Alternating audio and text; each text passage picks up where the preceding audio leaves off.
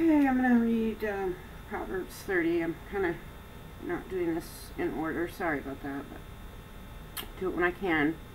Proverbs 30. The words of Agur, son of Jakeh of Massa.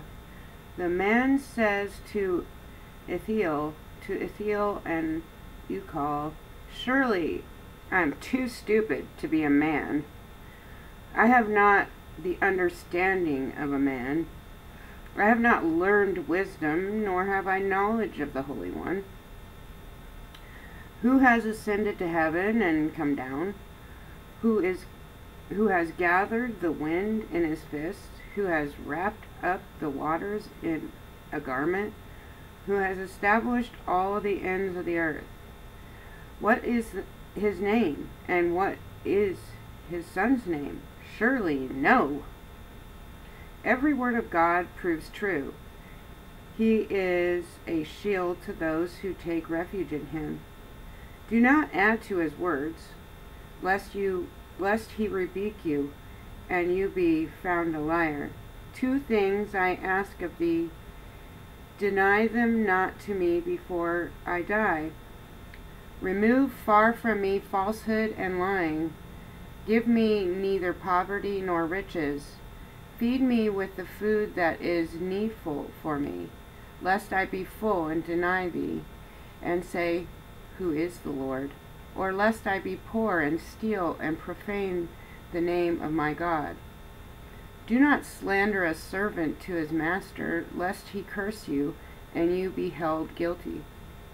There are those who curse their fathers, and do not bless their mothers.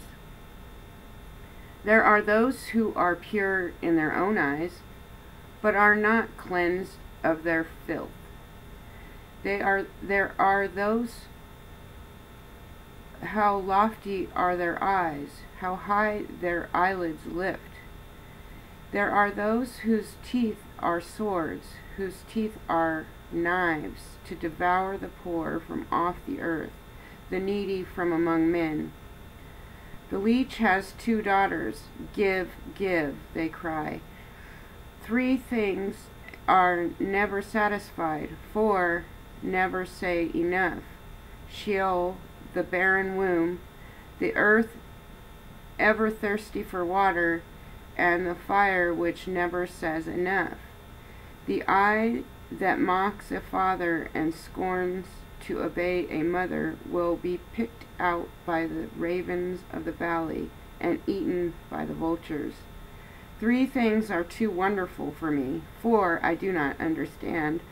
The way of an eagle in the sky, the way of a serpent on a rock, the way of a ship on the high seas, and the way of a man with a maiden. This is the way of an adulteress. She eats and wipes her mouth and says, I have done no wrong. Under three things the earth trembles, under four it cannot bear up.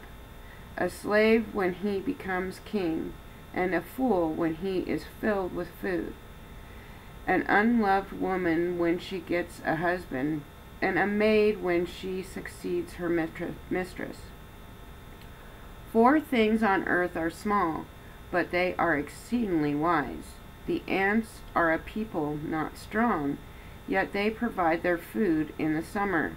The badgers are people not mighty, yet they make their homes in the rocks. The locusts have no king, yet all of them march in rank. The lizard you can take in your hands, yet it is in kings' palaces. Three things are stately in their tread, four are stately in their stride.